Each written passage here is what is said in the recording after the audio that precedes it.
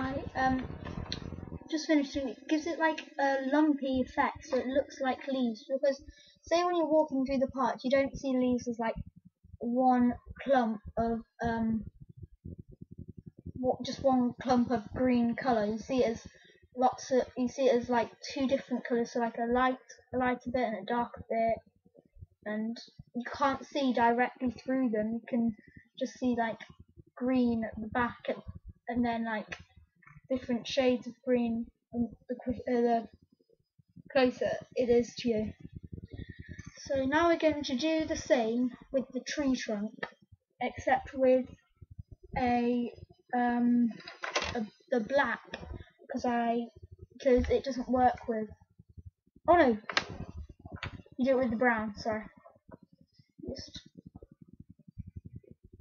get your oil pastel bring it up the trunk.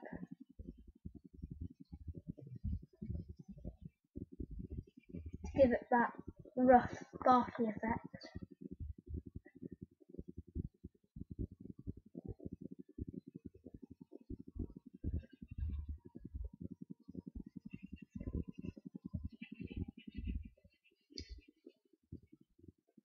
I just want to say I kind of got my I got my inspiration from um,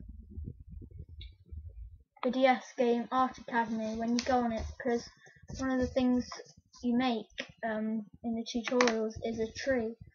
And um, I'm getting some of my some of my what are they called um, not tactics some of my tips are from there. So work up the tree to clumps.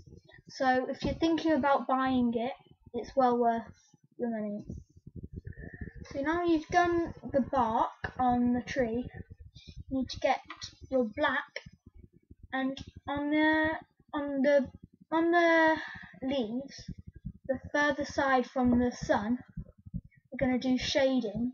It's not like a pencil shading, it's like just a line of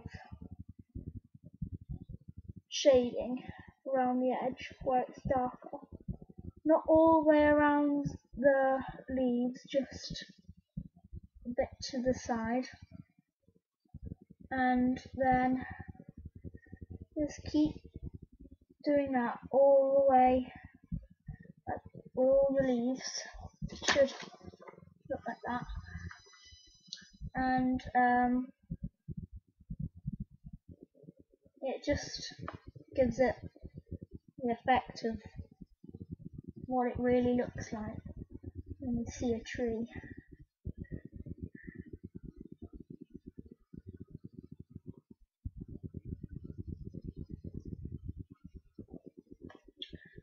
Um, the prices for Art Academy, if you want, if you want to buy it, is in the. It will be in the description.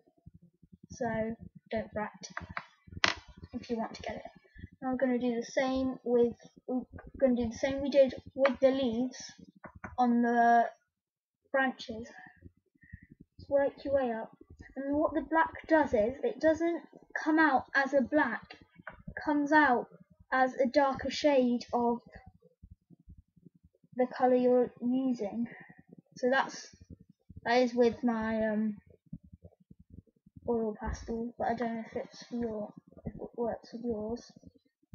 Uh, yeah, that's it. So should look like that. Now we're going to go back onto painting. I'm just going to take. So um, get your thickest brush you've got.